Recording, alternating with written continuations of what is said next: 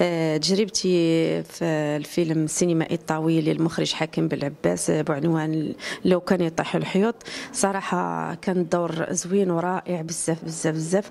وحتى الشخصية اللي, لعبت إن أنا ارتحت فيها بزاف. وكنت جد جد سعيدة آه، بالشخصية ديال العروس اللي اللي توفات جداتها في يوم الزفاف ديالها.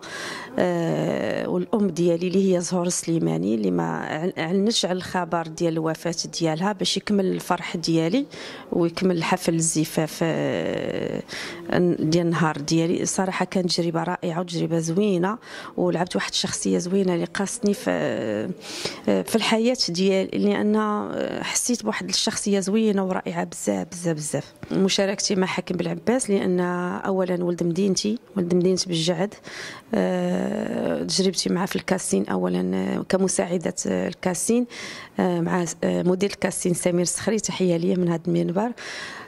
صراحة كانت تجربة زوينة في الكاستين واخا خدمت مع أفلام أخرين ومع مخرجين أخرين ولكن ماشي بحال ولد مدينتي ولد الحي ديالي وهذا.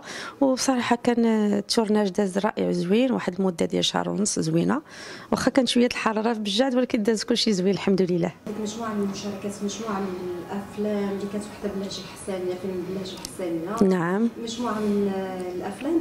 ولكن درتي أنه زعما المشاركة مع ولد مدينتي تكون عندها تابع هذه تبغي تعاود نفس التجربة مع نفس المخرج؟ آه نعم بكل فرح 100% ما نترددش صراحة 100% آه، يعني الوقت اللي يتصل بيا حكيم ويقول لي بغيتك تخدمي معي في بجاد غنجي طياره صراحة كاينين مواهب وكاين طاقات سينمائية في مدينة بجعد ولكن صراحة ما ولكن حكيم صراحة حكيم بالعباس دار حاجة زوينة اللي كيصور في مدينة بجعد لأن آه، بين على بزاف المواهب بزاف الطاقات شبابية يعني منهم أطفال شباب. إن الفيلم الفيلم مشاركة ديال بجعد ناس بزاف أطفال شباب بنات ولاد رجال عيالات.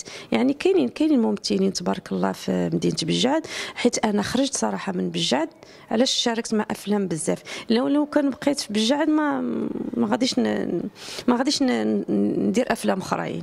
كلمة أخيرة للجمهور ديالي لأن تحية ليهم بزاف بزاف من هذا المنبر هذا وكنشكركم بزاف على الاستضافة. كنقول لهم باش يشوفوا الفيلم السينمائي المخرج حاكم العباس لو كانوا يطيحوا الحيوط نهار 27 يوليوز بجميع القاعات السينمائية. وشكرا.